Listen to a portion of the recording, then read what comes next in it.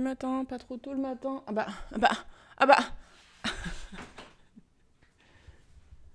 ah bah voilà. hein. Au revoir. Comment ça va ce matin? Nous sommes le, euh, le 30 novembre euh, 2023. Il est euh, 8h10. Et, euh, je, crois que j'ai quasiment fait des matinales tous les matins de la semaine de ce mois-ci. Euh, a priori. C'est euh, pas, pas loin d'un exploit quand même. Hein parce que voilà. Euh, je suis assez régulière. Je suis, je suis assez contente. Du coup, c'est très cool. Bonjour Manon, bonjour Franck, bonjour Farali. On est le dernier jour de Movember et je vais bientôt perdre 40 ans. Vous avez fait Movember, du coup vous avez une, une moustache. Je veux voir ça. Je veux absolument voir les moustaches de Movember s'il y en a. Il me faut des photos sur le, sur le serveur. Alors pour celles et ceux qui nous rejoignent ici, retrouvez-nous sur le serveur euh, Discord de la communauté et, euh, et envoyez-moi vos photos. Je veux voir des, des barbes. Je veux voir des barbus. Nous sommes le 25 avant les cadeaux.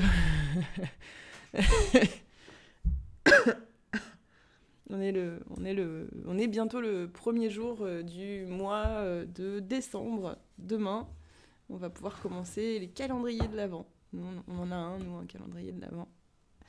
Donc, euh, ce sera à partir de demain. J'aime pas Noël, ça me stresse. Pourquoi ça te stresse, Noël? Moi, c'est la première fois depuis euh, des années que je vais fêter Noël cette année. Et que je vais fêter Noël, attention, hein, on va y aller jusqu'au bout. Il va y avoir un sapin, il va y avoir des décorations de Noël, il va y avoir des cadeaux, il va y avoir un vrai Noël. tout ça est tout nouveau. Enfin, ça faisait des années que j'avais pas fait ça. Alors là, il est en train de chanter. je l'entends, je sais pas si vous l'entendez chanter.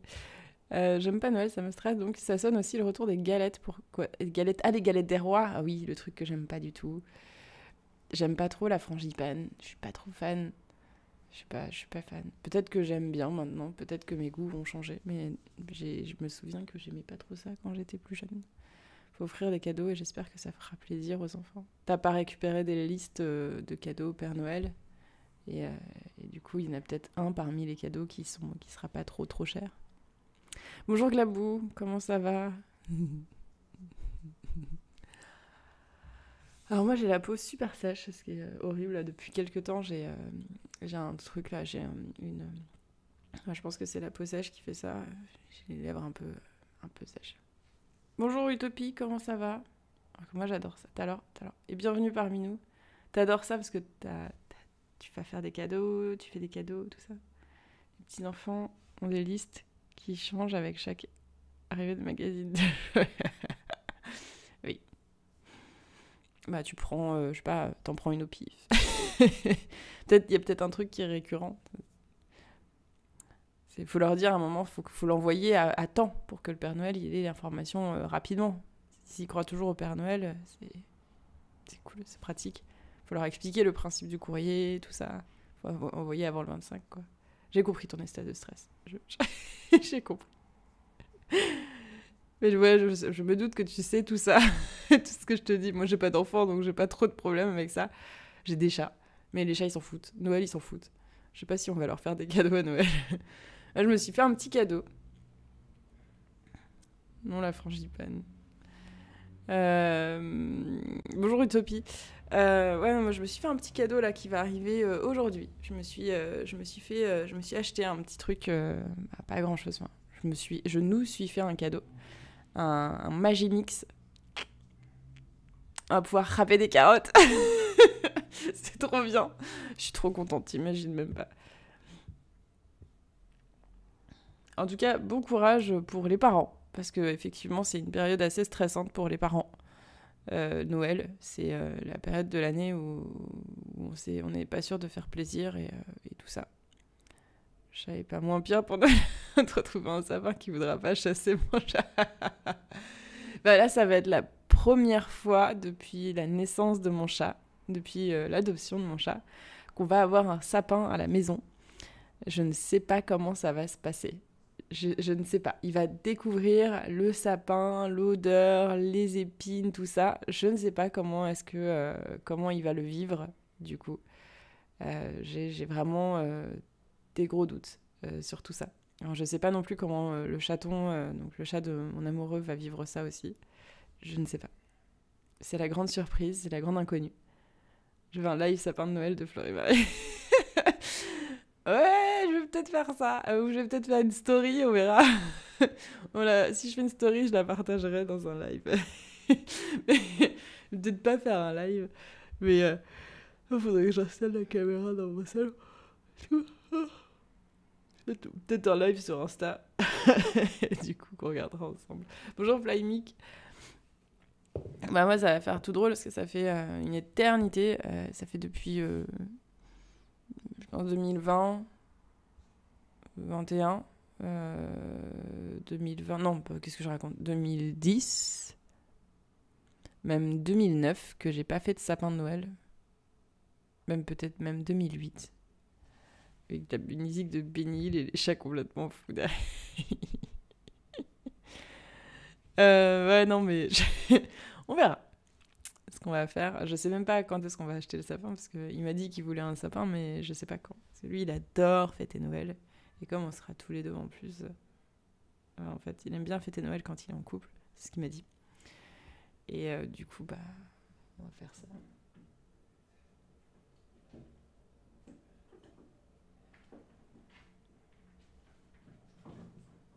Je sais pas si vous entendez, mais c'est en train de se bagarrer là, les chats. c'est trop mignon. Merci Manon. Ah, c'est trop bien. On verra. Je verrai. Je, vous tiens au courant. Euh... je comprends pas les gens qui se perdent dans une voiture de train. Donc on souhaite bon courage à Farley pour son voyage en train. Je ne sais pas à quelle heure il est parti. Je crois que c'est vers 5 heures qu'il a dû partir. Donc il est bien, bien mort. Euh, bien fatigué, euh, le pauvre Farley. Euh, alors, où est-ce qu'on en était arrivé? Ah Oui, c'est vrai que j'ai mis le. Chaque fois, je me pose la question, puis à chaque fois, je me souviens que je me suis mis le lien vers le dernier message. Et oui, ce matin, on devait parler de, recrutement. Alors, j'allais dire de Pôle emploi. On va parler de Pôle emploi. Euh, ce matin, on va parler de recrutement. Ça peut être l'occasion d'avoir un moment à deux plus des chats romantiques. Ouais, on a plein de ces genres de moments. Genre, hier soir, on s'est posé euh, sur le canapé et les chats sont venus tous les deux. Donc on était tous les quatre sur le canapé, c'était trop mignon. Et en fait, c'était le moment du biril. du coup, ça tombait trop bien. On a fait, une, on a fait chacun notre photo de l'autre côté, c'était trop mignon. Euh, trop bien, merci Franck. Bonjour Lakishta 76H1. Bienvenue parmi nous.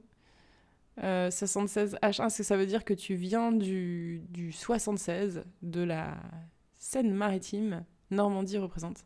En tout cas, bienvenue parmi nous. Merci pour le follow. Je, t'affiche, t'as vu. Désolée. Euh, donc non, on va parler d'une, d'une annonce de recrutement qui a, euh, qui a été publiée par Lydia. Je ne sais pas si vous avez vu passer euh, ça. Donc c'est,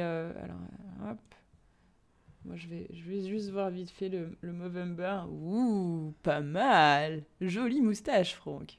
Bien réussi.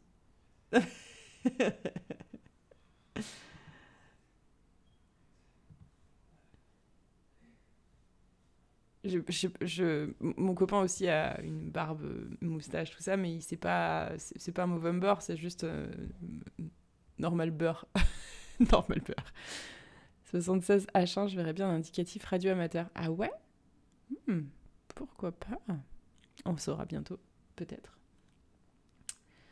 Je reprends les actus. Je reprends les actus. Donc, je disais que aujourd'hui, je voulais parler de cette actualité et de plus largement, euh, je vous avais dit, euh, il faudra qu'un jour j'en parle en live de mon rapport à Pôle Emploi parce qu'il est assez particulier. Euh, donc voilà l'actualité. C'est euh, Balance ton, Balance ton agency. Donc, je ne sais pas si vous connaissez euh, Balance ton agency. C'est un compte sur euh, Twitter qui publie régulièrement des, des, des posts sur, alors on va les regarder, hein, mais des posts sur des, des, violences, racisme, sexisme, harcèlement, abus de pouvoir, sur les annonces qui ont été publiées. Cette semaine, j'ai parlé d'une annonce de recrutement Lydia pleine de red flags sur le compte Instagram Balance ton agency et ils ont supprimé mon compte Lydia. Ils ont supprimé mon compte Lydia. Thread de la pire comme de crise de licorne française. Ça s'est passé sur LinkedIn quand la licorne Lydia se sabote. Du coup, on n'aura pas euh, le compte Instagram. L'annonce de recrutement lunaire sur LinkedIn. Donc on a le résumé quand même assez complet, euh, on va en voir. Donc, tout est parti d'un poste de recrutement sur LinkedIn. Pour vous, cette équipe est faite pour vous si vous aimez travailler dur, vous visez l'excellence. Vous avez confiance en vous. Vous êtes obsédé par le service du client bien fait. Vous êtes obsédé par. En psychologie, une obsession est un symptôme ressenti comme, une, comme contraignant et absurde. L'utiliser dans une annonce de recrutement relève de la psychophobie. Vous êtes à l'aise avec les nouvelles technologies. Vous êtes discipliné et acceptez la hiérarchie vous êtes discipliné et acceptez la hiérarchie, vous devez être obéissant, docile et soumis aux règles de l'entreprise. Euh, vous aimez travailler côte à côte avec vos collègues, vos supérieurs et vos équipes. Vous êtes prêt à faire de Lydia votre seule grande entreprise jusqu'à votre retraite. Cette phrase ressemble presque à des vœux de mariage, vous jurez fidélité pour le meilleur et pour le pire. Vous assumez aussi bien l'inconfort des échecs répétés que la célébration de quelques réussites. Beaucoup d'échecs, peu de réussites finalement. La suite de l'annonce, c'est pas pour vous. Vous êtes issu d'une minorité de l'immigration. Euh, c'est pas pour vous, donc euh, hein. Vous êtes issu d'une minorité euh, de l'immigration avec un handicap. Ne parlez pas bien anglais, ne connaissez vraiment rien à la banque, voire vous la détestez. Vous n'avez pas de diplôme, vous avez 59 ans, etc. Et alors, postulez comme vous êtes. Donc là, il y a une mise en avant de certaines discriminations à l'embauche, au pif, pour dire qu'on accepte tout le monde alors que la discrimination à l'embauche est de facto illégale. En revanche, avec 10 ans d'expérience au compteur, nous pouvons être certains que si les premières questions euh, que vous vous posez avant de postuler chez Lydia sont du type quel est le montant des tickets resto 8 ou 10 euros Y a-t-il une douche dans les bureaux? Le taux de prise en charge de la mutuelle est-il de 50 ou 55% Cette équipe n'est vraiment pas faite pour vous. Regardez ailleurs. C'est n'importe quoi. Euh, donc, quel est le montant des tickets resto, le taux de prise en charge de la mutuelle? Pourquoi est-ce mal vu d'être intéressé par les avantages de l'entreprise, surtout quand elle nous demande de lui jurer fidélité jusqu'à notre retraite? Oui, c'est vrai. Pourquoi? Euh, Si la question euh, rejoindriez-vous alors, si la question rejoindriez-vous Lydia si vous étiez déjà riche, célèbre, avec une vie sociale bien remplie Vous répondez non. Ce n'est pas une équipe faite pour vous. Ah alors, ne jouez jamais à tu ferais quoi si tu gagnais au loto? Avec vos collègues, vous risqueriez, euh, vous risquerez de vous faire euh, licencier pour pas assez corporate, même plein aux as avec beaucoup d'amis. Bonjour chaton. Bonjour chaton. Bonjour chaton. Oh petit chat. Regarde ça. Oh, on est bien là. On est bien. Ça va? Du coup, c'est parti pour euh, matinée de ronron. Je suis sûre que vous adorez ça. Lui aussi, il adore ça. Allez, c'est reparti. Est-ce que vous aimez vous faire harceler, exploiter et peut-être en bonus soumis à des violences sexuelles? Parce que le salaire, c'est trop surfait, le, le servage, et je suis gentille, c'est mieux. un peu ça, ouais. Suite de l'annonce, attention, on continue red flag. Si vous utilisez Lydia juste pour rembourser vos amis de temps en temps au moment de postuler et que vous ne, voyez, vous ne vous voyez pas en faire votre compte principal, ce n'est pas une équipe faite pour vous. Depuis quand être consommateur est une compétence? Et ai-je vraiment envie que mon employeur ait potentiellement accès à mes comptes? La réponse est non. Si vous êtes manager actuellement mais que le prénom du conjoint de vos proches collaborateurs vous importe peu, ce n'est pas une équipe faite pour vous. Euh, donc pas le droit de mettre une barrière entre la vie pro et perso. Voilà, tout simplement. Et leur réaction? Attention, donc ça c'est tout ce qu'elle a, tout ce qui a été dit euh, sur euh, Balance ton agency, hein, qui est quand même euh, bon, ça va, c'est soft, hein, mais bon, c'est vrai que c'est vrai, hein, tout ça est vrai. Leur réaction après la simple publication de leur annonce sur Balance ton agency, la fermeture définitive de mon compte Lydia. À Anne Boitard, euh, fermeture de votre compte Lydia. Bonjour, lors d'un contrôle de routine, nos équipes ont remarqué que l'activité de votre compte Lydia contrevenait à une ou plusieurs des règles fixées par nos conditions générales d'utilisation. Par suite, votre compte Lydia a été bloqué de manière définitive. Nous sommes sincèrement désolés d'avoir dû prendre cette décision ferme. Sachez que Lydia a établi ses règles d'utilisation dans le seul but de garantir la sécurité de ses utilisateurs et l'intégrité de sa plateforme. Pour rappel, la création d'un nouveau compte Lydia pour échapper à cette décision est également contraire aux règles d'utilisation et entraînera une fermeture immédiate du compte supplémentaire. De routine, ouais. Non mais c'est grave red flag. Tout est red flag là-dedans. Trois heures après la publication des stories, Clara, son nom de famille, m'indique que suite à un contrôle de routine, leurs équipes ont remarqué que mon compte n'était pas dans les règles. Comme de par hasard Pourtant, je tiens cette cagnotte depuis plus de deux ans et à aucun moment je n'ai eu affaire à un de leurs contrôles routiniers. Ils n'ont pas simplement bloqué ma cagnotte, mais bien tout mon compte Lydia. La, méthode est violente et injustifiée. Elle dit que si vous critiquez l'entreprise en tant que consommateur, vous voyez votre compte être définitivement banni. Parlons de cette com de crise qui fait objet d'un cas d'école à ne pas reproduire si vous êtes une entreprise ou une agence. Évidemment que je n'allais pas rester sous silence et que j'allais visibiliser cette action démesurée sur mon compte. Après avoir divulgué ce mail en story, je reçois un nouveau mail de leur part. Bonjour Anne, je me permets de reprendre cette conversation. Merci de ne pas tenir compte du mail précédent. Il s'agit là d'une erreur commise par nos services, euh, par nos équipes dans le traitement de votre dossier. Votre compte ne fait pas l'objet de blocage. J'ai tenté de vous, joindre, de vous rejoindre ce jour, mais votre numéro ne semble pas attribué.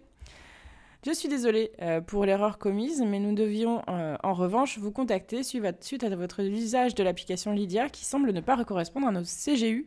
En effet, votre cagnotte nommée BTA contrevient aux conditions générales d'utilisation de Lydia qui stipulent que les cagnottes appelant à la générosité publique ne permettent, ne permettent, et permettant notamment de financer une cause, un projet social, associatif ou entrepreneurial par le don sont strictement interdite.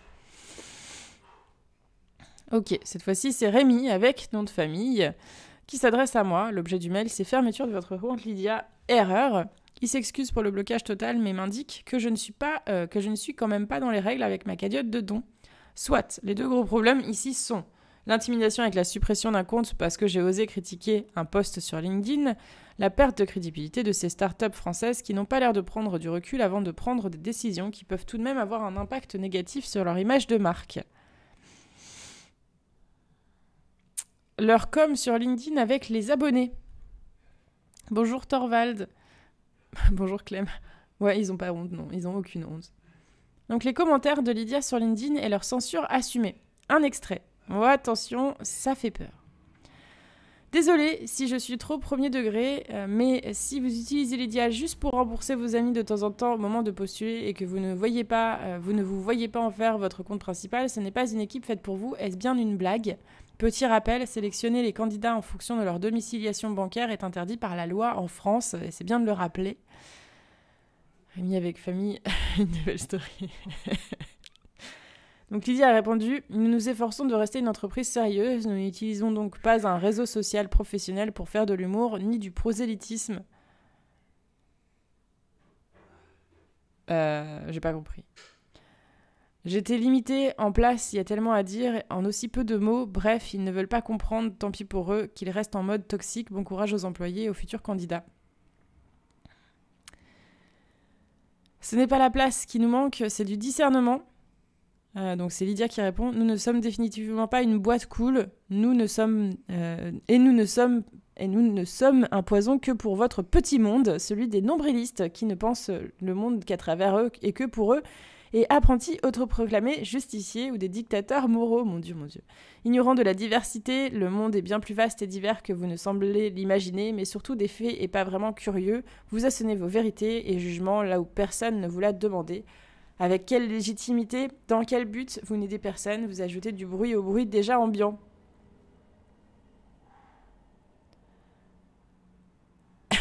Bonjour chocolatier Paul. Ah bonjour Paul Garderes. Bonjour, comment ça va? Je dis chocolatier à chaque fois. Bah, commence par chocolatier, cela dit.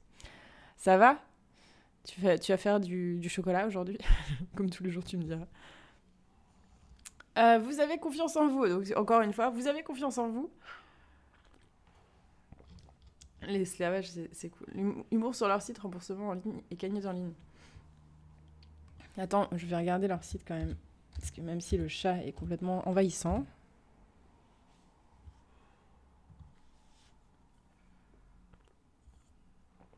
Non, bah, c'est pas humoristique, je trouve pas ça drôle. Hein. Respectez mon point de vue. L'esclavage, c'est cool, respectez mon point de vue. Allez, c'est la liberté d'expression.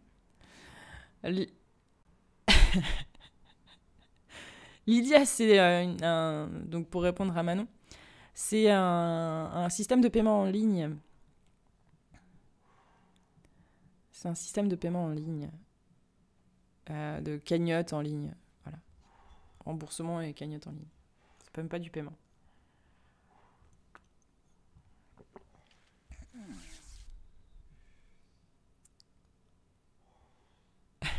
ok. Eh bien, euh, bon chocolat à toi. ça va, moi ça va. Ça va super. Euh, très très bien. Comment je fais pour faire? Attends, je vais faire un truc là. Je fais ça. Comment je fais? Ah, Je sais pas. Je sais pas.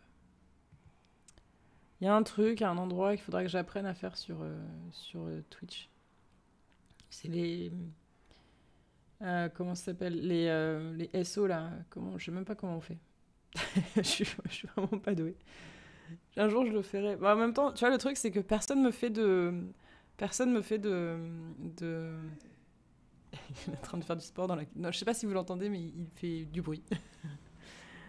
Salut Clem.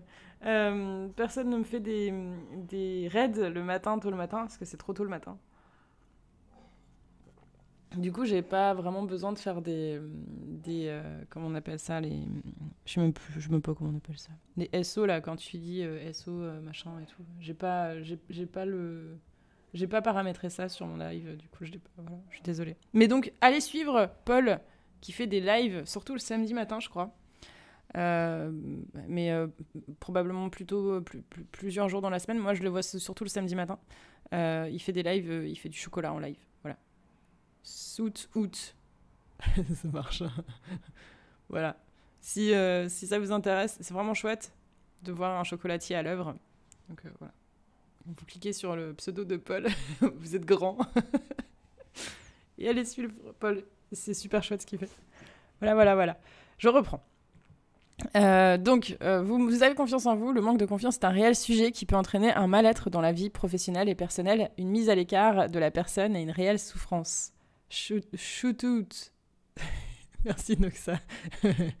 ouais, bon, ça va, j'ai l'air d'être vieille. j'ai l'impression d'être complètement à la ramasse. Une entreprise dans laquelle on passe un tiers de nos journées devrait être prête à accompagner les personnes de façon générale, proposer un cadre. Hmm. Mais de rien. Bonjour monsieur. Bonjour HP Caméléon. Euh, Lydia a répondu donc absolument et il est grandissant. C'est pourquoi un, nous ne sommes pas, euh, nous ne sommes et le faisons, nous le sommes et le faisons tous les jours. C'est un devoir. Deux, n'étant pas des pervers et ne ciblant pas particulièrement les masochistes moraux, nous n'encourageons pas ceux qui déjà pensent manquer de confiance, car pour réussir ce que nous faisons, rendre l'impossible possible, mon Dieu. Oh mon Dieu. Chaque jour, je vous l'assure qu'il faut avoir une certaine confiance en soi, pas tous les jours, mais quand même. Bon, et pour réussir un entretien d'embauche, c'est mieux d'avoir confiance aussi. En fait, les gars. en fait, les gars, ils sont en mode. Non, mais. Euh, si t'as pas confiance en toi, tu viens pas bosser chez nous parce que euh, si, si tu viens bosser chez nous alors que t'as pas confiance en toi, c'est que t'es un maso, masochiste. J'en reviens pas, quoi. Mais c'est quoi cette communication? C'est hyper dégradant. Alors, Lydia, donc euh, quelqu'un a répondu Lydia, sérieux, c'est pas possible d'écrire autant de bêtises. En tout cas, jolie démonstration de la non-inclusivité de votre boîte. Être compétent et être sûr de soi ne rime pas forcément, et ce pour plein de raisons. Je n'ose pas imaginer la perception que vous avez du TDAH, donc du trouble, trouble de l'attention, euh, je sais plus ce que veut dire le H, vous le saurez sans doute, et ou des formes d'autisme dans le monde du travail. Donc c'est euh, le, un un trouble de l'attention, je crois. Ah. Hyper, hyperactif, voilà, c'est ça. Nous, on veut des winners, c'est ça. hyperactivité, ouais. C'est euh, le trouble de l'attention ou, euh, ou trouble de l'attention et de l'hyperactivité ou hyperactif. Voilà. Trouble déficitaire de l'attention avec ou sans hyperactivité. Donc TDA, c'est trouble déficitaire de l'attention et TDAH, c'est trouble déficitaire de l'attention avec hyperactivité, j'imagine. Enfin bref. La communication de crise est pas ouf. Donc un deuxième extrait, parce que vraiment c'est juste hallucinant, c'est de l'or en barre ce truc.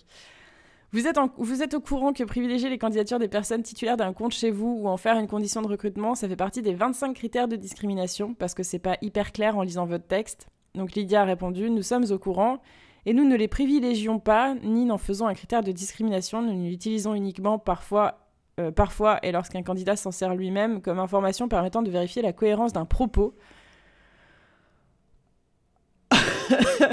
Genre, les gars, ils sont. Ah, le TDA, ça n'existe pas, ok. D'accord, merci. Désolée. Je suis pas très au fait euh, de. Bah, c'est pas mon métier, donc euh, du coup, j'ai pas forcément toutes les connaissances sur le sujet. Et je me suis pas absolument trop renseignée non plus. Mais donc les gars, ils sont là. Non, mais on va vérifier. on va vérifier si euh, s'il dit des trucs vrais. Du coup, on va aller regarder son compte. je, je, vous jure, franchement, cette story, c'est de l'or en barre. Euh, nous l'utilisons uniquement parfois là. Hein. Euh, notre intention est claire dans, dans notre texte et c'est le plus important. Peut-être que le contexte pose des problèmes de lecture ou d'interprétation. Bah oui, c'est en fait c'est vous qui êtes trop stupide pour comprendre en fait ce qu'ils ont écrit.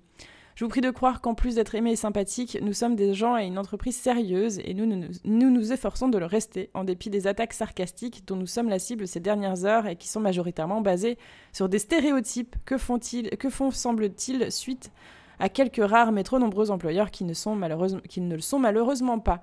Donc je, je trouve ça dingue en fait que les gars soient là, mais non mais en fait c'est parce que vous avez des stéréotypes, c'est horrible. On est ouvert, on fait, des, dons chaque année pour aider les gogoles et les fragiles. Oh putain. en même temps, c'est vraiment paraphraser ce qu'ils écrivent, mais c'est vraiment ça, quoi. Dans contexte, il y a texte. Bonjour Skoko. Euh, manifestement, effacer des commentaires plutôt que d'y répondre de manière constructive fait partie de votre stratégie de gain de temps. Soit votre rhétorique est rodée, votre posture inattaquable, vous n'êtes pas une boîte cool, vous le revendiquez dans votre texte, et si on ne vous, et si on n'est pas avec vous, on semble être contre vous. Le monde ainsi conçu est si simple et n'a pour principal mérite que de renforcer les croyances qui vous guident. Ça n'enlève rien de la toxicité du modèle culturel proposé. Vous l'affichez publiquement, ne soyez pas offusqués que celles et ceux qui travaillent à une autre vision vous questionnent dessus.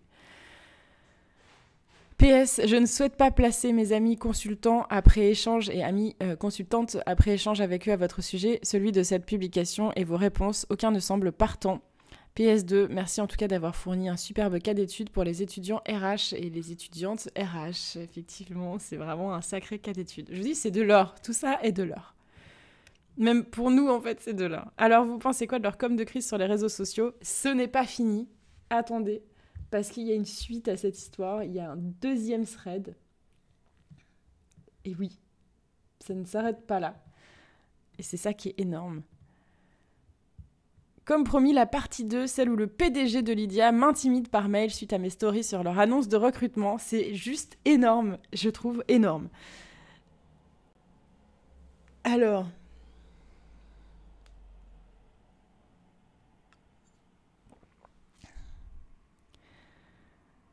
Asred. Cas d'école comme de crise quand le DG de Lydia me met un coup de pression par mail. Pour commencer, avant de m'envoyer son mail, il écrit un long monologue en anglais sur Slack à ses Lydians. Il les informe de mes stories qui critiquent leur annonce, qui critiquent son annonce de recrutement et il me compare à Spider-Man et Elon Musk. Donc le PDG de Lydia écrit à ses équipes sur Slack pour les informer de mes stories. Dear Lydians, you may have heard and may also have been impacted by some consequences of a recent post the company did on LinkedIn. Donc vous avez sûrement entendu et aussi été impacté par euh, les conséquences d'un récent post euh, que euh, l'entreprise a fait sur LinkedIn. pour tout le négatif que ça, a pu vous, vous causer, je suis désolée. Ça n'aurait pas dû arriver. Aider les gens, helping people wonder if they want or not to be, become Lydians. Euh, euh, aider les gens à savoir euh, s'ils veulent ou ne pas, s'ils veulent ou pas devenir Lydian, Lydians, Lydian, Lydian. si, si ça leur ira d'être des Lydians ou pas, devrait définitivement ne pas être un, ne pas générer autant de, de réactions. Désolée, hein, c'est la traduction mot à mot, je suis pas non plus traductrice, c'est pas non plus mon métier. Voilà, on va savoir ce que je ne fais pas aujourd'hui. Euh, euh, avant toute chose, parce que euh, il n'y a rien. Il n'y a rien à trop. Enfin, il n'y a pas de, il a pas de, de, spectacle à faire avec ça. si vous lisez sincèrement ça et que vous n'êtes pas aveuglé par des, des biais personnels. Euh, ensuite, parce que euh, ce n'est pas leurs affaires, ce ne sont pas leurs affaires. Les auteurs, attendant. Ok, c'est pas grave. Les auteurs euh, ont. Donc, attends. Les auteurs ont. qui ont. Their authors claim they are some kind of justice. Donc, les auteurs qui, qui se prétendent justiciers. Mais à qui ont-ils demandé euh, est-ce qu'ils sont qualifiés pour ça? Est-ce qu'ils utilisent euh, les méthodes appropriées et les canaux appropriés? Ils ne le font pas et euh, je ne pense pas que vous croyez en la justice. Ah non, pardon, je, je, ne sais pas pour vous, mais moi je crois en la justice, pardon. Et Spider-Man et Elon Musk ne sont pas des justiciers. Il écrit en anglais alors que l'entreprise est 100% française. Dear Lydians become Lydians, fit or not as Lydians. Euh, donner un nom corporate aux employés renforce le côté clanique de la société. On devient Lydien, on fit ou non, en tant que Lydian. Oh, il vient d'activer les majuscules, mon chat. Les auteurs, euh, their authors euh, claim they are some kind of justice, but who asked them to? Il faut être avocat pour critiquer vos posts LinkedIn. I Believe in Justice, le groupe ou la vraie justice, parce qu'il a écrit Justice avec un J majuscule quelque part. Selon euh, Balance ta startup, vous ne croyez pas au code du travail. Arrête, arrête.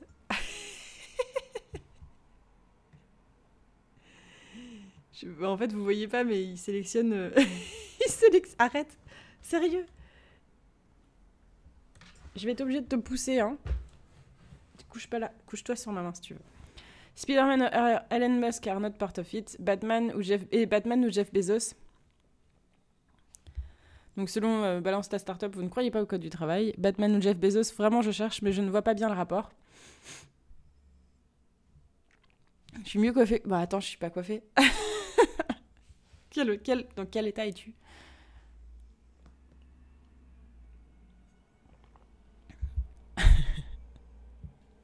Il pense qu'on sait pas lire l'anglais, sans doute. Puis il dit que les experts en communication lui auraient conseillé de, je cite, me laisser feuilletonner toute seule. Bon, visiblement, il ne les a pas écoutés. Anyway, it's the world we live in. C'est ça, on est en 2023 déjà, le temps passe vite, hein. Enjoy your well-deserved uh, WK, as you know you need it. Sous-entend, ça a été chaud cette semaine et ce sera pire lundi.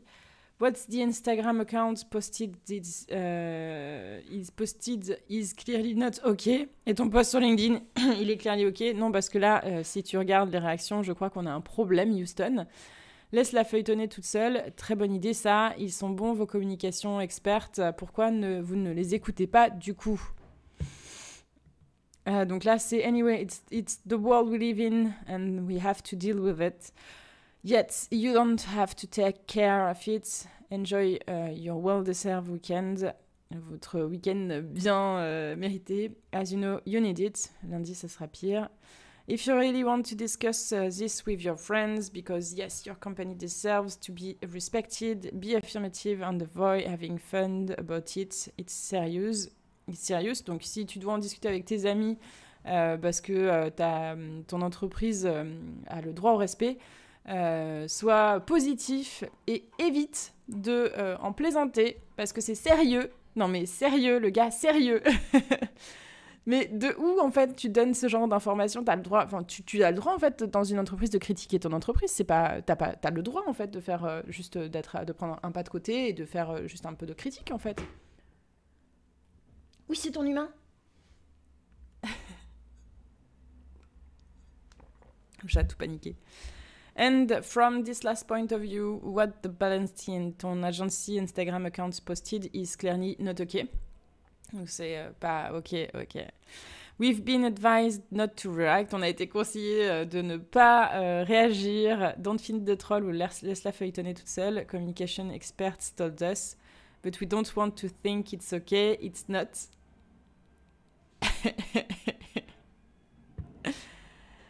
tu le fais en public, mais en public, enfin, je veux dire, avec tes amis, c'est euh, en public, on s'en fout. Enfin, t'as le droit, en fait, de dire, bah non, mais euh, mon employeur, euh, ça va pas, il est pas forcément, il est pas ok, l'offre d'emploi, elle est pas ok, ce qui a été publié, c'est pas bien. c'est, t'as, as le droit, en fait. Alors, pas en public, hein, je dis pas en public, tu vas pas aller sur BFM TV pour dire, regardez, mon employeur, c'est des connards, mais tu as, le droit en fait d'avoir un esprit critique par rapport à ton employeur. Si c'est un poste sur des réseaux sociaux, mais c'est surtout un poste par une personne qui n'est pas embauchée par, euh, par euh, Lydia, donc c'est pas. Enfin, elle a le droit, elle par contre, euh, elle a le droit d'être critique en fait, elle a juste le droit. So we don't, we won't react publicly as a company. We do a, a bit some with some LinkedIn comments only. Bah oui, t'as quand même réagi. Hein, on va pas le faire, mais on l'a fait quand même. But we are wondering about reaching to the euh, Instagram account or euh, in private. Donc, elle a reçu des messages en privé. Ensuite, il parle de mon journalisme sans méthode, comme s'il fallait être journaliste pour critiquer Lydia. Euh, balance ton agency, non, c'est juste, en fait, balance ton agency, c'est pas un prestataire. C'est euh, euh, balance ton agency, c'est un compte Instagram qui balance les annonces qui sont racistes, sexistes, enfin toutes les annonces, tout type d'annonces qui sont pas bien. Et, c'est un peu comme comment ça s'appelle Il y, a un autre compte aussi sur Instagram comme ça qui lui, alors c'est être balance, c'est balance ta euh, je sais plus, enfin, c'est des comptes comme ça de balance ton, balance ton truc. Et euh, en fait, il y en a un, c'est euh, des femmes qui envoient des messages de ce qu'elles reçoivent comme harcèlement moral, harcèlement sexiste, harcèlement sexuel, de, trucs qu'elles vivent en tant que femmes. Et en fait, et en fait bah, tu as, le droit en fait de. de, commenter quelque chose qui n'est pas, pas bien. C'est que tu sois journaliste ou pas, ou que tu sois prestataire ou pas. Et ils ont fouillé et trouvé que la personne utilisait Lydia. Ouais, mais c'est ça surtout. Euh, quelle horreur. C'était une utilisatrice de Lydia. C'est juste euh, balance ton gynéco. Ouais, il y a balance ton gynéco, effectivement. Salut la persifleuse, comment ça va? Il y, a, y, y, en a plein, en fait, des balance ton. Euh, et c'est vachement intéressant parce que tu vois vraiment tous les trucs qui se font, qui se font bah, cachés de la vue du monde. Et, c'est bien, en fait, de, mettre en exergue des choses qui ne sont pas bien. Et ça, ça permet aussi, euh, les témoignages euh, comme ça, ça permet aussi de. Euh, d'avoir des. de prendre un peu de recul par rapport à tout ça. Et de, de comprendre aussi qu'il que, y, a, y a un problème par rapport à l'annonce. Donc, qu'est-ce qui arrive? Quelqu'un a euh, gagner en célébrité en agissant comme euh, un lanceur d'alerte pour un, un, comportement, mauvais comportement dans la communication française, dans des agences de communication françaises, euh, en copiant ce qui se fait aux États-Unis, ce qui se faisait aux États-Unis quelques années plus, fort, plus tôt avec Balance ton agency, avec le compte Balance ton agency sur Instagram. Depuis since they leverage it to create their own agency, play to journalism without the methods. Uh, we posted a message on our LinkedIn page uh, presenting a bit more truly who we are through uh, we what have in common those who seem to like working at Lydia. For your information, it's a first step to a. Decrease the number of not matching candidates. B. Increase our visibility among those um, that could that could better match with us. Donc, someone had one celebrity by acting as an alert launcher, copying someone uh, who had done it in the US. Bon, passons à la traduction littérale catastrophique et parlons du gagner la célébrité et copier un mouvement US. Tout ça ne me permet toujours pas de critiquer un post LinkedIn, donc. Play, to journalism uh, without the methods. Je ne joue pas au journaliste, je me permets juste, comme n'importe qui, de souligner des red flags de votre annonce de recrutement. We posted a message on our LinkedIn page um, presenting a bit more truly who we are. Exercice réussi, on sait maintenant à qui on a affaire et ça ne donne pas envie d'aller plus loin. En effet. Il dit qu'il sent son entreprise incomprise et que c'est juste de la presse gang pour le buzz. Et non, c'est juste du bon sens, Michel.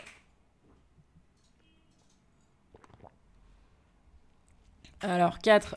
They seem to be allergic to such content, So even if they know nothing about us and they are not concerned, they did an, an Instagram post about it. Unfortunately, as most uh, Instagram, X, etc. post these days, it's press gang. It ignores the presumed innocence. Ça ignore l'innocence présumée.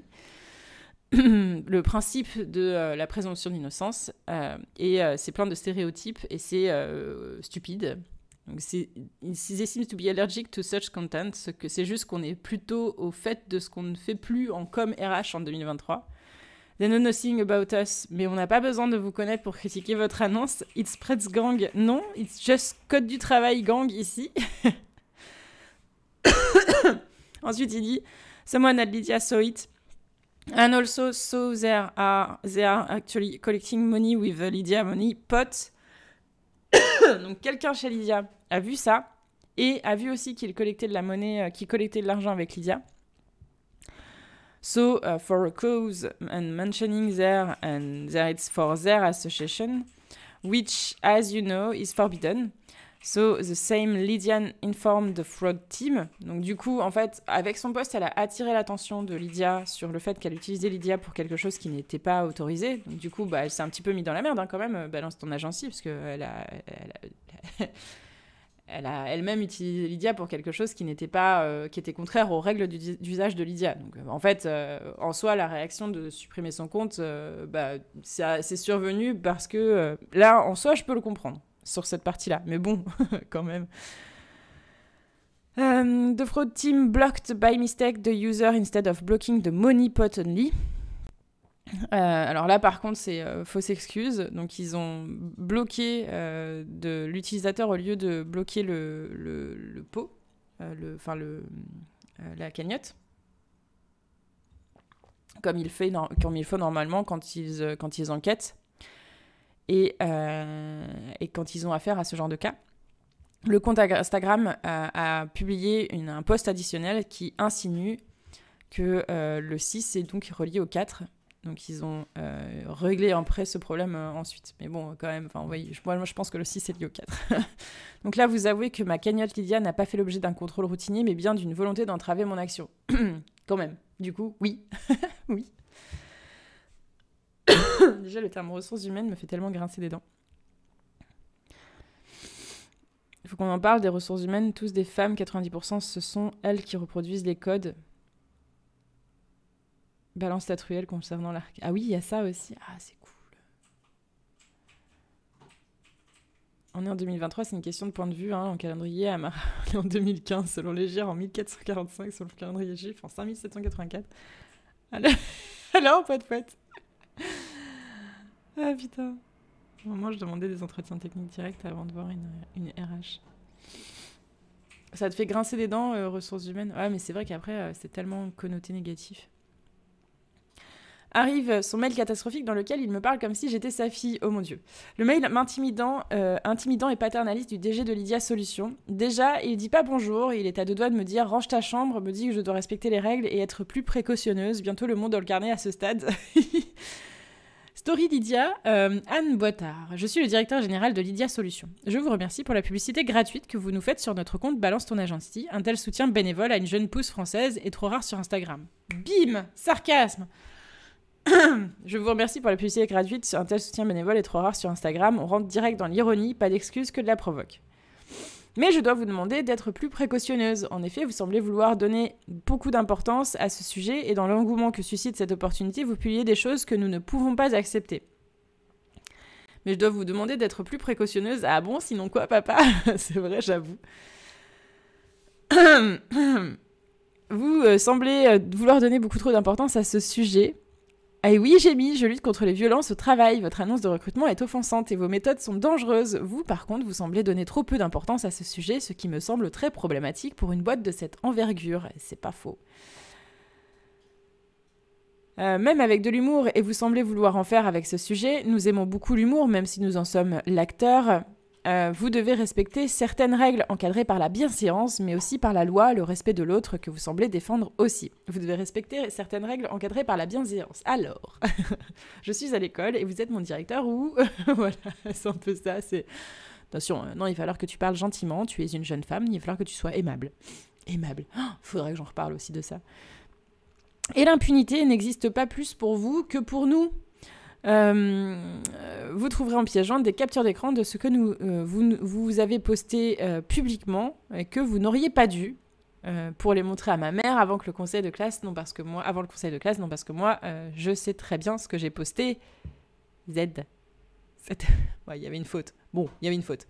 Il me fait croire que le blocage de mes comptes Lydia est dû à un contrôle routinier alors que sur Stack, à tous ces Lydians, il dit que c'est suite à mes stories. Il dit aussi que je l'ai fait passer pour des personnes racistes et ou validistes. Le blocage temporaire de votre compte utilisateur, le temps de l'analyse est la conséquence d'un usage non autorisé de nos services de votre part, et cela vous a été expliqué. Plus que le droit, plus que notre droit, c'est notre devoir en tant qu'établissement financier sérieux. Vos accusations d'intimidation sont égocentrées et diffamatoires.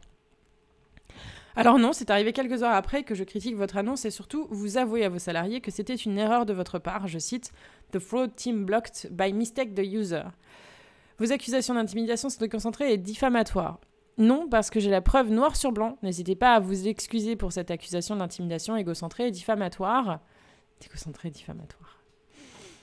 Euh, l'usage de guillemets sert à citer. Non seulement vous ne nous citez pas, mais vous nous faites dire l'inverse de ce qui est écrit, qui n'est pas équivoque. Nous faire passer pour des personnes physiques ou morales, racistes ou validistes est une diffamation. Les faits contredisent vos propos facilement. Nous ne regardons jamais ni l'activité de client, ni de candidat, ni de collaborateurs à d'autres fins que celles prévues par la réglementation, la loi et le service client.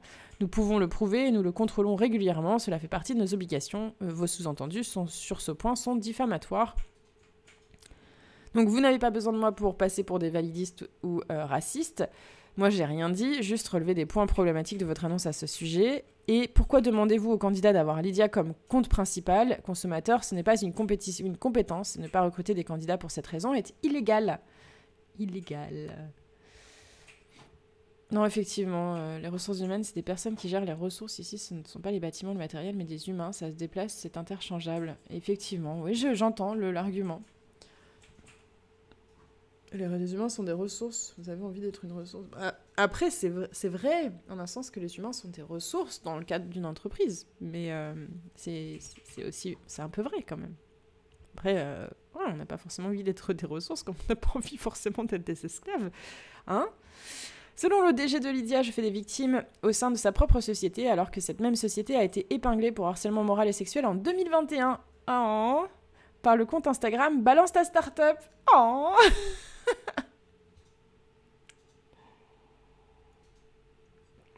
Non, il n'est pas nécessaire de recevoir son salaire sur son compte Lydia pour travailler chez Lydia. Là encore, c'est de la diffamation et les faits que vous ne pouvez pas connaître le prouvent chaque mois. Vous demandez expressément au candidat d'avoir Lydia en compte principal, donc de facto, cette hypothèse a été sous-entendue sur le compte. Nous ne vous ciblons pas. Votre compte a fait l'objet d'un contrôle routinier, mais ce ne sont pas les comptes clients qui sont contrôlés régulièrement, c'est le contrôle qui est routinier. Vous vous êtes méprise. Le contrôle dont votre compte client a fait l'objet a nécessité de le bloquer temporairement, puis seulement votre compte se cagnotte sur lequel vous appelez au don. Vous ne faites aucune mention de cela euh, publiquement. Mensonge, vous avez dit l'inverse à vos salariés sur Slack. En plus, vous aviez bloqué toutes mes cagnottes, pas seulement celles qui ne répondaient pas à vos CGU. Euh, ce que vous faites en revanche commence à ressembler à du harcèlement. Vous essayez peut-être de prévenir de mauvais comportements potentiels, pourquoi pas, mais si tel est votre objectif, sans la, la, manière, sans la manière, cela mène rarement au bon endroit. Et ce faisant, vous faites des victimes immédiatement chez certains euh, collaborateurs de Lydia, que cela perturbe votre angoisse, euh, voire, pardon, que cela perturbe, voire angoisse, mais aussi de manière plus globale par vos méthodes, raccourcis, stéréotypes, discrimination et de toute altérité, etc., qui sont aggravées par votre audience significative et la confiance dont vous bénéficiez auprès de certains médias institutionnels. Pourtant, ce n'est pas moi qui ai été épinglé par Balance ta startup pour harcèlement moral et sexuel en 2021. Et merci de revoir la définition de harcèlement. Euh, en fait, c'est de l'autre sens là, le harcèlement. C'est les gars qui arrêtent pas d'envoyer des messages pour lui dire de se taire en fait. C'est ça le harcèlement. Selon lui, j'appelle au boycott de sa, marque, alors qu'il arrive tout seul avec sa com de crise éclatée. Bien à vous, bisous, et à bientôt pour une nouvelle suite. Vous en pensez quoi, vous, de cette com de crise? Enfin, vous appelez à la fermeture de compte client Lydia sur la base de ces éléments mensongers. Cet appel au boycott est un acte caractérisé de discrimination en ce qu'il entrave le fonctionnement normal d'une activité économique. Je n'ai pas fait d'appel au boycott. Si aujourd'hui les gens ferment leurs comptes, c'est à cause de votre communication RH et de votre com crise catastrophique. Se remettre en question, ça fait du bien et c'est gratuit. Vous avez désormais mon adresse et vous pouvez donc m'écrire si vous avez des questions ou des doutes afin, si vous souhaitez continuer à parler avec nous, de le faire dans un cadre documenté, pourquoi pas contradictoire même. Je suis aussi disposée à vous rencontrer si vous le souhaitez dans nos bureaux parisiens, bien à vous.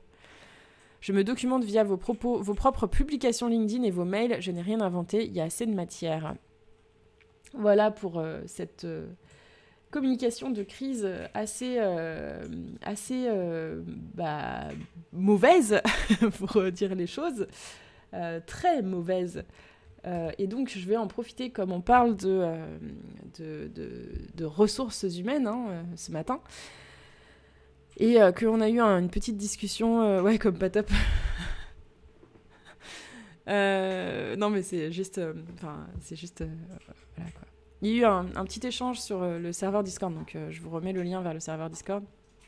Il y a eu un petit échange sur le serveur Discord sur les, euh, vos, rapports avec Pôle Emploi. Je vous avais dit un jour je vous raconterai mon rapport personnel avec Pôle Emploi. Donc je vais vous en parler. je, vais, je vais vous en parler. je vais me positionner tout de suite maintenant sur le drôle et mignon quand même, histoire de, finir le live en bon état. Ah merde. Euh, en fait, euh, j'ai été inscrite la première fois à Pôle Emploi, c'était en 2010, quand j'ai, quand 2010, euh, ouais, quand j'ai fini mes études en mon DUT de gestion des entreprises et des administrations, je me suis inscrite sur Pôle Emploi pour bah, trouver du boulot. Et donc j'étais inscrite à Pôle Emploi dans le Limousin, à Limoges en fait. C'était ma première inscription à Pôle Emploi.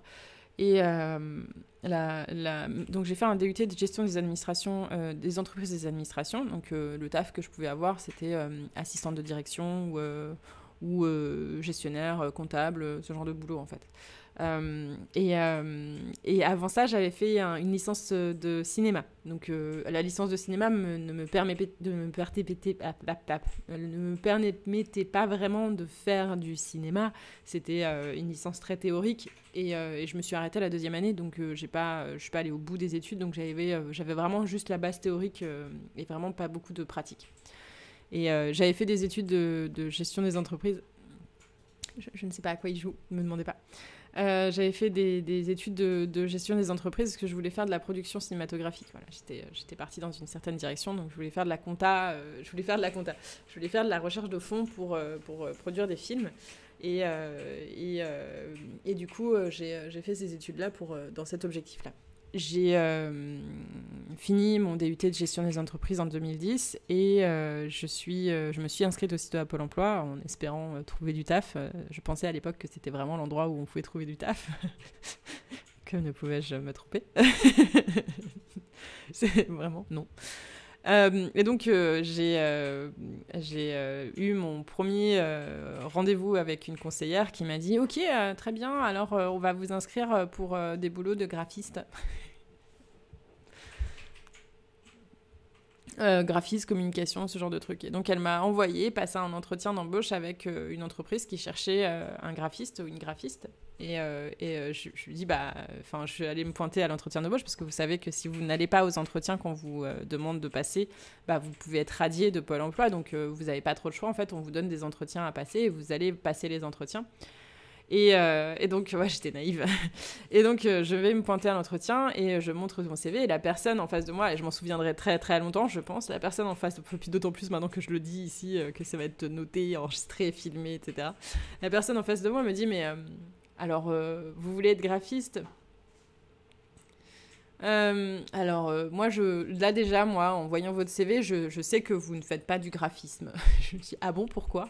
Elle me dit, bah, alors le gras, le souligné, vous ne le mettez pas ensemble. J'ai fait, ah, d'accord. Donc j'avais des, petites connaissances. Euh, bah, je touchais rien parce que j'avais pas de boulot, donc j'avais pas de, j'avais, pas d'argent en fait. Euh, mais j'avais des petites connaissances en euh, l'utilisation d'un logiciel qui, qui, n'existe plus maintenant, mais qui était un logiciel de montage de, de vidéos, enfin de, montage euh, vidéo euh, graphique, euh, je sais plus comment ça s'appelle, mais c'est un, vieux logiciel que j'avais été, j'avais été formée sur ça quand j'étais étudiante à la fac de cinéma. Donc j'avais quelques bases sur ça, mais les bases d'utilisation d'un logiciel, c'est pas, ça n'a aucun intérêt quand, enfin, ça, ne te donne pas des, des, bases en, graphisme en fait. C'est juste, tu sais utiliser le logiciel, voilà. Après, t'es pas forcément, t'es pas forcément doué dans le dans le, graphisme globalement. Il faut avoir aussi de euh, du talent, ce que je n'avais pas. J'étais pas une artiste euh, à ce niveau-là, c'était pas, pas mon truc. Moi, j'écrivais, je sais écrire j'écris super bien, donc euh, je peux faire des, articles, je peux faire des communiqués, je peux faire des trucs. j'écris très très bien. Là, j'ai aucun problème pour dire que j'écris super bien. Je sais super bien répondre aux mails, je fais pas de fautes d'orthographe, j'écris plutôt proprement. quand je suis attentive et quand je suis pas trop fatiguée, je fais pas de fautes d'orthographe en première en première écriture et avec une seule relecture, je peux corriger 100% de mes fautes, donc j'ai pas de problème d'écriture. Et j'écris bien, j'ai une tournure d'écriture qui est plutôt belle. Euh, donc euh, voilà, les gens, quand ils lisent ce que j'écris, ils sont plutôt euh, satisfaits de leur lecture, globalement. Et d'ailleurs, si vous voulez lire ce que j'écris, vous pouvez aller sur mon, site internet, c'est florimarie.fr. Vous allez avoir florimarie.fr, je crois. Vous allez avoir tout un tas de. Tout un tas, bah d'ailleurs, tiens, hop. ah, il m'a bloqué les majuscules, cet imbécile là. C'est oh, mon site internet, oui Il s'appelle Bienvenue parmi nous parce que je trouvais que c'était marrant. Euh, du coup, si vous voulez venir sur mon site internet, ah, bienvenue euh, Timmy Fafa parmi nous. Merci pour le follow. Et vous y verrez, vous y trouverez donc toutes mes matinales. Euh, normalement, la dernière, c'est celle d'il y a trois jours ou deux jours, parce que j'essaie de mettre celle d'il y a deux jours globalement. Et vous y trouverez aussi euh, donc, euh, les contenus de Déni de démocratie, où là, j'ai plusieurs articles que j'ai écrits. Donc, si ça vous intéresse, hein, n'hésitez pas à y aller. Et, et puis, j'aurais pu mettre parmi nous, ouais, j'ai mis parmi nous, mais j'aurais pu mettre parmi nous avec un petit chat. Et, euh, et, puis mon journal de bord, et du coup là j'ai aussi quelques, quelques reprises de, de, threads ou d'articles que j'avais écrits. Euh, non, j'ai pas mis parmi nous, mais je vais peut-être le modifier du coup. et, euh, et, voilà, et donc, et aussi voilà, des interventions presse, médias, ce genre de trucs. Et donc la matinale, et puis mon, ma série, je vais vous faire aimer les statuts aussi. Donc là c'est. J'attends, euh, dans pas longtemps, je, devais avoir, euh, je vais avoir des visuels pour pouvoir mettre euh, tout ça proprement. Mais en attendant, voilà, c'est ici. Et, vous trouverez tout ça donc sur ce site. Donc allez-y, hein. même vous pouvez vous inscrire sur la, sur la newsletter si vous voulez. Pour le moment, j'ai pas prévu de newsletter, mais au moins si un jour il y en a une, si je publie quelque chose directement sur cet article-là, vous recevrez une petite notification pour j'ai un article en cours de préparation euh, sur, euh, sur euh, les cryptos et Bitcoin et j'ai un autre article en cours de préparation sur les réseaux sociaux. Voilà. ça, arrive, il y a des choses qui vont arriver. Donc inscrivez-vous dessus, comme ça vous aurez, vous aurez des, actualités fraîches. mais et je publie tous les jours les, les, vidéos des, des, matinales de deux jours avant. Donc si j'ai le temps, sinon je le publie de temps en temps. Enfin, J'essaie de l'alimenter régulièrement. Bref. Et donc, euh, et donc euh, bah, du coup, j'ai pas eu le boulot, hein, bien sûr. Euh, et c'est la, dernière fois que. Enfin, j'ai pas compté sur Pôle emploi pour avoir d'autres tafs. Et de toute façon, ils m'ont envoyé aucune annonce parce qu'il y avait vraiment rien qui correspondait à mon profil. Donc, ça, c'était ma première occurrence avec Pôle emploi. Il y en a une deuxième qui est beaucoup plus intéressante pour le coup, parce que là, la première, c'était drôle, tu vois, c'était. Drôle. Après, j'ai trouvé du taf, je suis allée chez les Verts. Non, j'ai pas peur pour la crypto, t'inquiète. j'ai trop hâte de le publier. Euh, donc euh, il y a eu, euh, j'ai eu mon boulot chez les Verts. J'ai été recrutée donc par quelqu'un qui s'appelait Jean-Marc Brûlé, qui est décédé cette semaine en fait. Du coup, je suis un peu triste, un peu triste parce que c'est quelqu'un qui a marqué ma vie de manière vraiment très très forte, vu qu'il m'a donné ma chance quand j'ai eu 23 ans. il m'a donné mon premier taf et, et j'ai bossé chez les Verts à 23 ans grâce à lui. Du coup, euh, voilà, il, est décédé euh, cette semaine et euh, dans des circonstances plutôt tristes. Du coup, je suis un peu, un peu triste. Je, ne vous cache pas que je suis très triste même. Ça m'a fait un coup, en fait, parce qu'il était jeune, il avait 58 ans, hein, il était tout jeune. Et, voilà. bref, donc j'ai bossé chez les Verts, machin, tout ça, et puis bah, en 2017, j'ai quitté mon poste chez les Verts, donc en février 2017, j'étais j'étais sans emploi, donc je me suis inscrite à Pôle Emploi. Je me suis inscrite à Pôle Emploi. Euh, non, il n'y a pas de circonstances heureuses, mais euh, des fois tu t'y attends et des fois tu t'y attends pas. Et là, euh, c'est complètement inattendu. Là, moi, je, je m'y attendais pas du tout parce que je pensais qu'il allait bien en fait. Et bah, c'est plutôt soudain. Je, pense que c'est bon. bref. Et donc, ouais. Et donc, en 2017, je me suis réinscrite chez Pôle emploi. Et euh, donc là, j'étais à Pantin, donc je me suis inscrite au Pôle emploi de Pantin, parce que vous devez être dans le Pôle emploi dans la ville dans laquelle vous habitez. Euh, donc je me suis inscrite au Pôle emploi de Pantin. Et euh, je suis tombée sur une conseillère, visiblement c'était son premier jour. Et elle, a, elle a juste été mauvaise en fait. Et comme moi, je savais que Pôle emploi, enfin la réputation que Pôle emploi, enfin en fait c'est surtout comme moi j'avais déjà une expérience plutôt négative avec Pôle emploi de cette conseillère dans Limoges qui euh, m'avait envoyé passer un entretien d'embauche pour devenir graphiste alors que j'avais absolument rien d'une graphiste, et ben je me suis retrouvée en me disant bah, je vais retourner à Pôle emploi, je vais encore me retrouver avec une conseillère euh, médiocre qui va m'envoyer passer des entretiens pour, euh, je sais pas, devenir journaliste alors que euh, je venais de bosser dans la politique. Alors pourquoi pas, en même temps, euh, journaliste, je pense pas que Pôle emploi fasse ça. Donc je sais pas ce qu'elle m'aurait envoyé faire au final. Je ne sais pas, euh, parce que finalement, ce qui s'est passé, bah, c'est tout autre. Je, mets beaucoup de attention, cliffhanger, qu'est-ce s'est-il passé? Réponse au prochain épisode. Non, je déconne. je vais vous raconter toute l'histoire aujourd'hui. et donc, et donc Pôle emploi, à part contrôler les chômeurs, c'est peu qui vont te trouver un boulot. C'est un peu ça, en fait, maintenant, je me, je me rends compte de ça. Et donc, euh, je m'en suis rendu compte quand même assez vite. Hein. Je m'en suis rendu compte en 2010. Hein. Je vous cache pas que quand ils m'ont envoyé passer l'entretien pour devenir graphiste, j'ai fait non mais les gars, ok. bon, en fait, non. Euh, du coup, donc, euh, j'ai euh, passé cet entretien, premier entretien que tu passes obligatoirement quand tu te réinscris à Pôle emploi. En fait, tu dois passer un entretien pour, pour savoir dans quelle catégorie tu vas tomber. Est-ce que c'est A, B, C, D Donc, il y a des catégories où tu vas être plus ou moins suivi, des catégories où tu vas être moins ou plus suivi. Moi, je suis en catégorie, enfin, j'ai longtemps été en catégorie D. Donc, les catégories D, c'est les demandeurs d'emploi qui sont pas du tout suivis.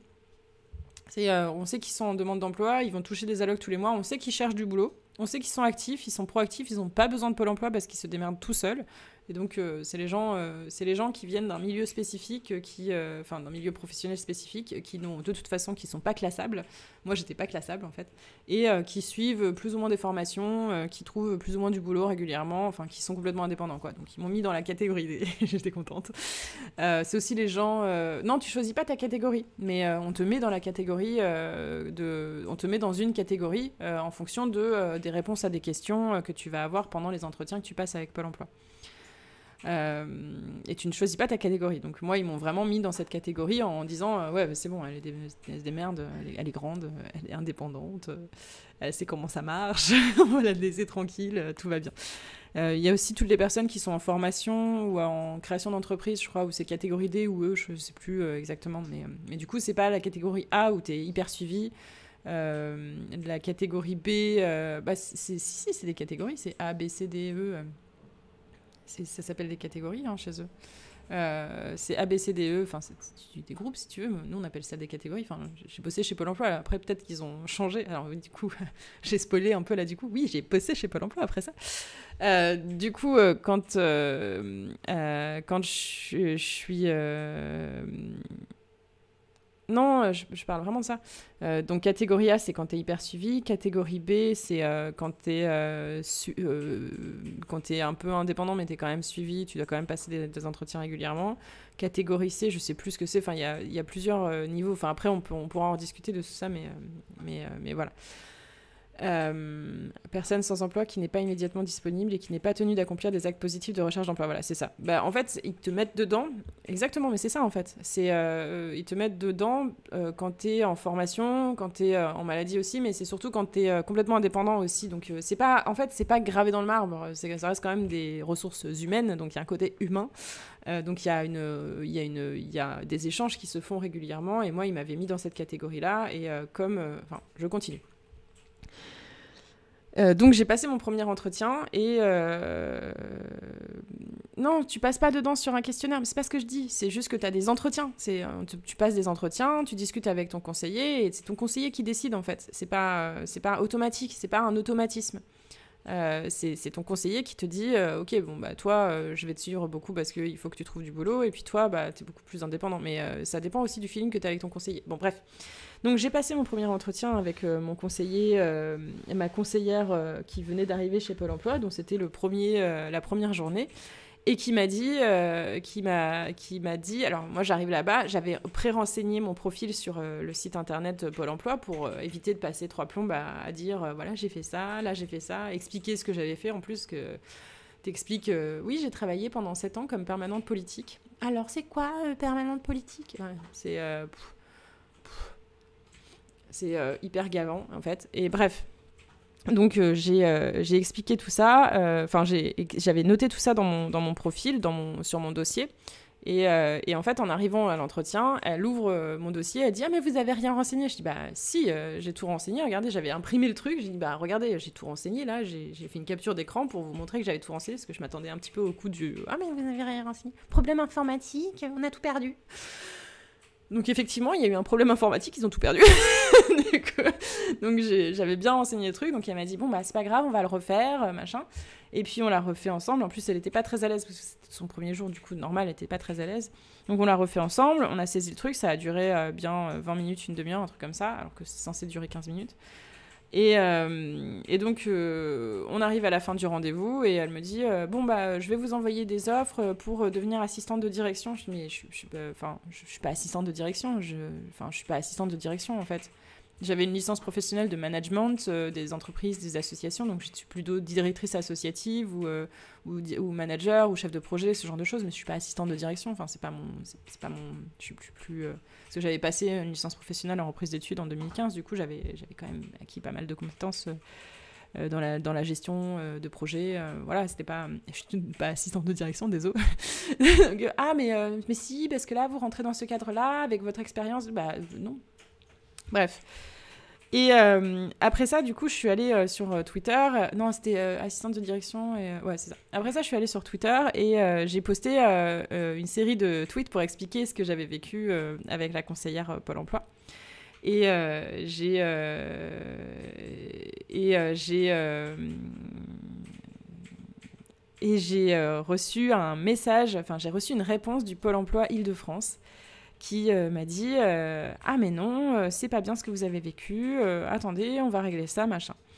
La directrice du Pôle emploi Pantin a remonté les bretelles de ma conseillère et elle m'a attribué une autre conseillère que du coup j'ai eu un deuxième rendez-vous. Dit, le Pôle Emploi m'a appelé, donc ils m'ont demandé mon numéro de téléphone hein, sur Twitter et ils m'ont appelé ensuite et ils m'ont dit, voilà, on est vraiment désolé pour l'expérience que vous avez vécue avec notre conseillère. Euh, on va vous attribuer une nouvelle conseillère. Euh, on vous demande si vous acceptez de revenir à un deuxième rendez-vous euh, pour deuxième entretien de, de pré-inscription, enfin, entretien d'inscription Pôle emploi.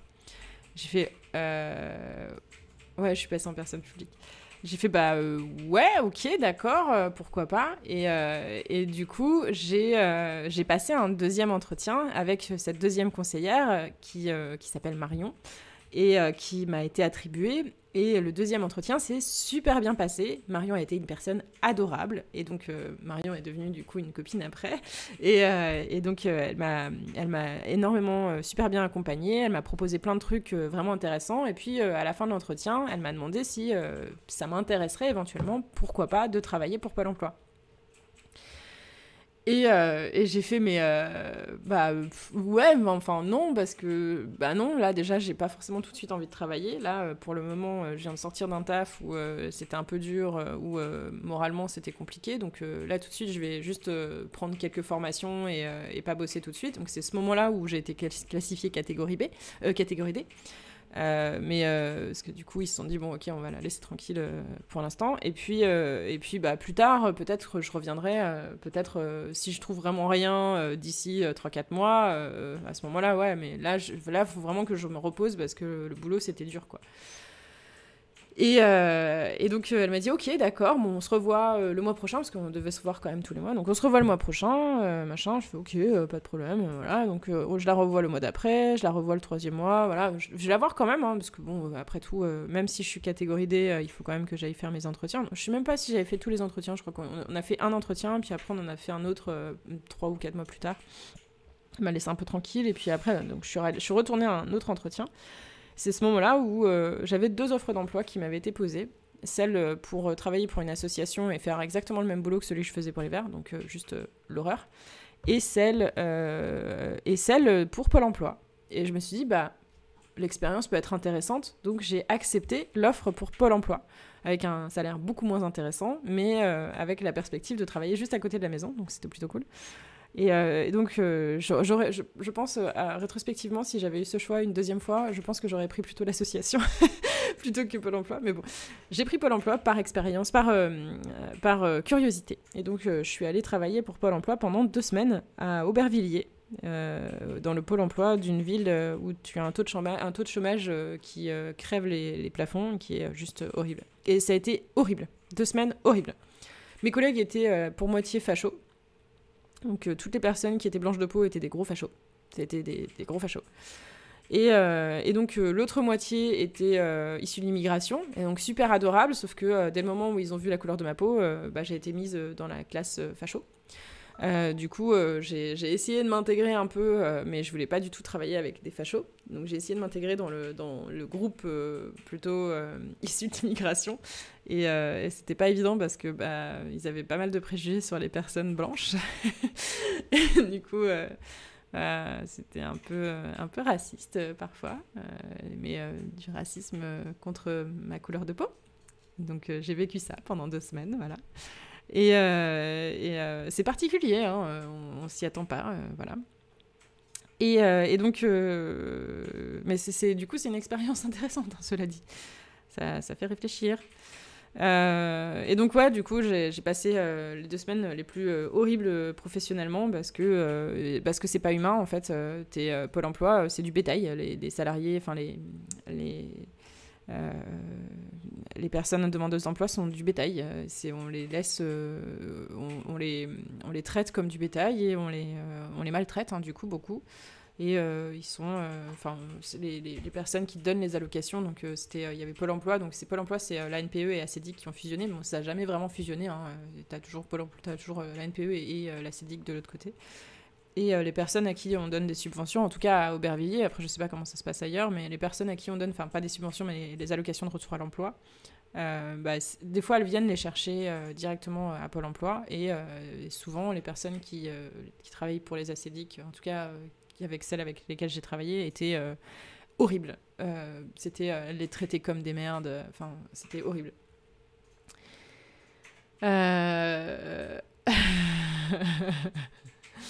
voilà, donc moi j'y suis restée que deux semaines. 18 mois, c'est énorme, mais euh, moi j'y suis restée que deux semaines. Euh, et, euh, j'ai arrêté au bout de deux semaines et j'ai dit à, ma conseillère non, non, mais moi j'y retournerai pas, c'est trop dur. Parce qu'en fait, ce qui était le plus difficile, c'était pas tant les collègues et l'ambiance et tout. L'ambiance était pourrie et les collègues étaient vraiment pas, pas vraiment très sympas. pas tous, en tout cas, il y en avait des très sympas, mais pas tous. Non, c'était ce qui était le plus difficile, c'était euh, quand tu devais euh, accueillir des personnes en demande d'emploi en situation assez difficile euh, de précarité et que tu devais, tu ne pouvais pas les aider. En fait, Pôle Emploi, c'est pas du tout social. En fait, c'est vraiment, tu as, vraiment un, objectif de chiffre et, tu, tu, peux pas passer trois quarts d'heure avec quelqu'un pour l'aider à écrire son CV parce que en fait, t'as que un quart d'heure et que si tu passes trois quarts d'heure, bah tu, tu, tu fais pas ton chiffre. Et euh, il y a cette politique du chiffre euh, m'a tellement exaspérée, ça m'a tellement énervée. Je me suis dit, mais euh, j'ai pas je j'ai pas ouais non je j'avais pas la Sarwell. Euh, j'ai pas du tout apprécié ça. Et du coup j'aurais pu tenir plus longtemps parce que l'idée c'était que je reste trois ou six mois dans cette agence là et que après je monte en grade et que je monte au niveau national mais j'ai pas eu le courage et la force mentale de tenir euh, dans cette agence-là et j'ai pas euh, ça, j'ai pas tenu en fait. Je, suis partie. Parce que si j'avais pu monter au niveau national, peut-être que j'aurais pu mettre euh, impulser des, des, réformes sur la façon dont on traite les gens, dire bah en fait il y a des personnes en grande situation de précarité qu'il faut aider plus et du coup c'est pas un quart d'heure mais une demi-heure ou une heure que tu passes avec eux. Mais mais non, et euh, j'ai pas tenu et j'ai pas, j'ai pas eu envie de, de, passer plus de temps là-bas. Et puis finalement, euh, j'ai trouvé un autre boulot un peu plus tard euh, dans une boîte où je suis pas restée non plus. Et, et de fil en aiguille, j'ai sauté de boulot en boulot, de ville en ville. Et, j'ai fini par arriver à Strasbourg. Je suis arrivée ensuite à, Caen. Après, je, suis arrivée, revenue à Paris. Et là, maintenant, j'ai du taf. Mais mais, euh, mais sans l'aide de Pôle emploi. Et après avoir bossé pour Pôle emploi, après, ils m'ont laissé tranquille euh, définitivement. Alors, j'ai changé de conseiller à chaque fois que je déménageais, parce qu'à chaque fois, je me réinscrivais à Pôle emploi pour euh, ne pas perdre mes allocations de retour à l'emploi que j'avais, mes droits. Et à chaque fois que je trouvais du boulot, en fait, j'étais toujours inscrite. Je déclarais tous les mois que je que je que je j'étais toujours en recherche de taf. Et du coup, dès que je perdais mon boulot, je retrouvais mes allocations de retour à l'emploi que j'avais de mon précédent taf. Et, donc, à chaque fois que j'étais au chômage, j'ai toujours eu des allocations de retour à l'emploi à hauteur de 1500 euros par mois. Donc, c'était plutôt cool. Mais, euh, mais ouais, là, euh, c'était. Ouais, ça aurait été une, une lutte assez acharnée si j'avais voulu rester chez Pôle emploi pour euh, essayer de bouger les lignes comme ça. Parce que bah, ça, ça marche pas comme ça, tu peux pas changer les choses comme ça. Enfin bref, donc oui, mon expérience, voilà, mon expérience avec Pôle emploi. Vous avez toute l'information. Après, j'ai eu d'autres conseillers parce que Marion est partie. elle est repartie, je crois qu'elle est repartie en Bretagne. Mais euh, j'ai eu d'autres conseillers euh, avec qui ça s'est plus ou moins bien passé. Euh, il y en a une qui m'a donné des super bons conseils, puis il y en a un, je l'ai jamais vu. Je l'ai eu au téléphone une ou deux fois, et quand je lui ai dit que j'avais travaillé dans la politique, il m'a dit Ah, moi la politique, j'aime pas ça. Et du coup, j'ai pas une nouvelle. J'ai plus une nouvelle, il m'a foutu la paix. c'est vrai, moi j'aime pas les politiques, c'est tous des pourris. Je fais Ok, d'accord, t'es conseiller Pôle emploi, mon grand, donc l'idée c'est quand même que tu me donnes des conseils pour retrouver du taf. Pas que tu me dises que les politiques c'est tous des pourris. Mais, euh, mais bon, je n'ai pas cherché plus loin. je leur avais dit que j'avais euh, pour ambition de créer une entreprise. J'ai pas créé d'entreprise. mais ils m'ont foutu la paix, au moins c'était plutôt cool. Alors.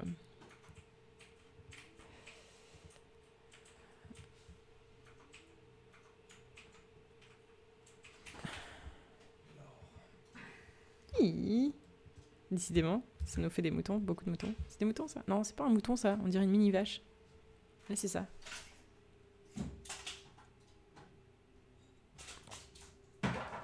Une vache des Highlands. Waouh, trop mignon. Bref. Une vache à poil. bah, elles ont toutes des poils les vaches, non? Bref. Allez, c'est la fin de ce live. Merci de l'avoir suivi.